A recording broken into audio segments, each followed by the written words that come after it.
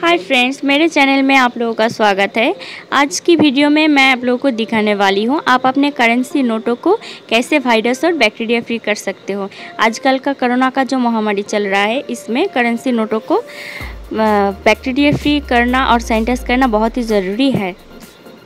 तो चलिए दोस्तों, देखते हैं कि हम करेंसी नोटों को कैसे बैक्टीरिया फ्री और सैनिटाइज कर सकते हैं। तो फ़र्स्ट स्टेप जो है, वो है हैंड वॉश का वाटर इस बॉल के पानी में मैंने थोड़ा सा हैंड वॉश मिक्स करके हैंड वॉश वाटर बना लिया. और दूसरा स्टेप जो है, वो है फिनाइल वाटर ये डोमेस्टिक फिनाइल है, जो कि हर घर में होते हैं. इस बॉल के पानी में मैंने थोड़ा सा फिनाइल मिक्स करके फिनाइल वाटर बना लिया.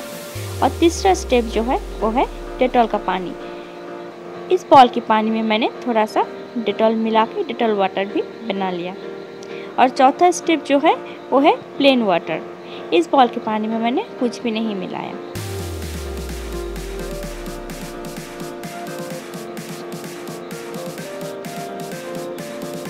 और फिफ्थ स्टेप जो है दोस्तों, वो है आयरनिंग गीला नोटों को सुखाने के लिए है।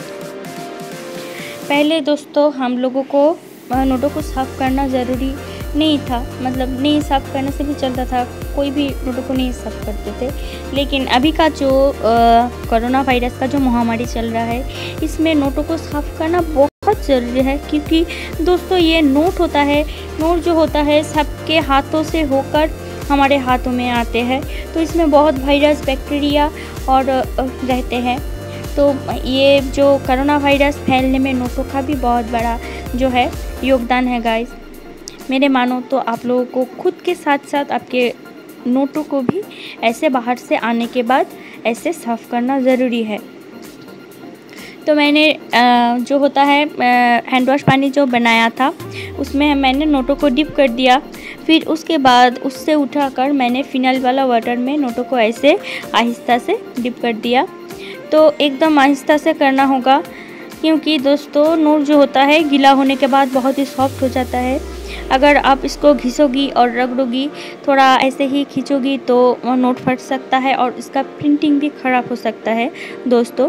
तो ऐसे ही मैंने आहिस्ता आहिस्ता करके एक के बाद एक स्टेप में मैंने नोटों को डिप कर रही हूँ। तो फिनाइल वाटर से उठा के मैंने डिटोल वाटर में नोटों को डिप कर दिया। फिर इसके बाद मैंने डिटोल वाटर से सादा पानी में, सफ़ेद पानी में इसको जो है प्लेन वाटर में नोटों को डिप करेंगे। तो ऐसे जो होता है, बीमारी फैलने का डर थोड़ा कम हो जाता है। और जो महामारी जो चल रहा है, इसमें जो खतरा है नोटों से, वो ही थोड़ा कम हो सकता है, दोस्तों। ऐसे ही मैंने सारे नोटों को जो है, डिप कर दिया।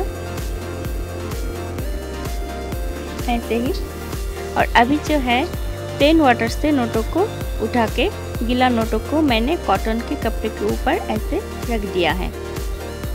तो ऐसे नोटों को रख के ऊपर से कॉटन के कपड़ा ऐसे मैं डाल दूँगी।